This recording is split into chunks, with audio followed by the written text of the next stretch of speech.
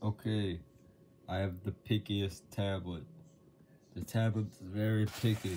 What I mean is, I delete stuff. It still says you're dangerously low on space. See, it won't just deal with the stuff I deleted. My tablet won't even be grateful that I deleted some stuff, and not everything. So this is ungrateful, and ungrateful people are picky. Like, here, here, what else am I gonna delete? You know, Trap Dungeons 2? Yeah, I'm gonna delete that right now. Yeah, and usually I do that. And I, I want to say something. It's still picky. See, I deleted it. It's picky. That's all I want to say. Of the pickiest tablet, it's the world's pickiest tablet. You know, I won't deal with it stuff. Yeah, I just want to see something. Oh, I got pranked.